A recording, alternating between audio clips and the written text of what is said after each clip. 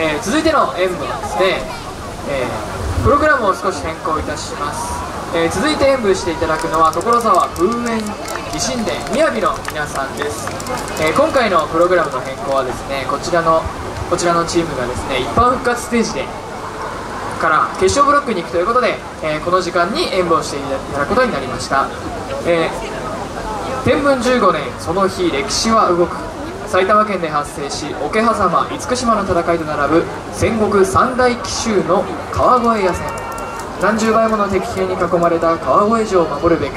北条家当主北条氏康は一か八かなどでかい奇襲を仕掛け勝利をつかみ取る。それでは所沢風園風園疑心殿みやびの皆さんお願いいたします。よろしくお願いします！